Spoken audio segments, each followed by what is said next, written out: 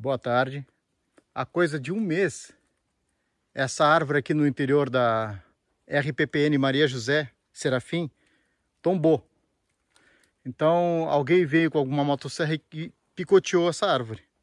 Aliás, uma árvore imensa. E nesse picotear temos barbosela, que é uma orquídea epífita, só que numa quantidade absurda. Ó. Tem realmente muita barbosela aqui, muita. Como é que eu vou mostrar para vocês aqui? Tá difícil até de mostrar, ó. Ali as barboselas, ó. Aqui do lado do bambu cortado com facão, ó. As barboselas. Tudo da família orquidácea. Aí depois vem as cactáceas. Muita cactácea esmagada aqui no meio da, dos troncos. Se a gente andar um pouquinho mais à frente aqui, ó,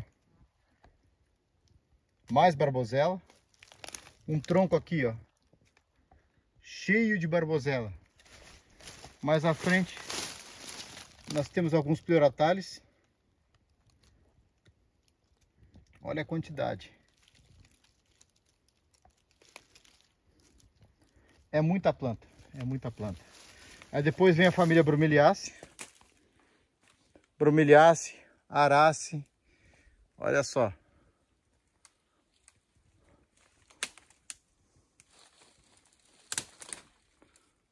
Tudo isso somente com a queda de uma árvore. Veio toda a biodiversidade abaixo. Ripsalis, que é muito comum.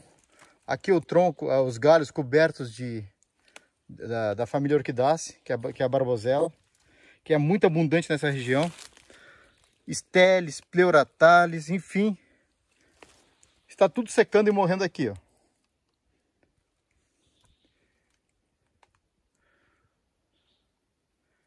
Fica aí o registro então da RPPN Maria José Serafim de Almeida Simões. Valeu!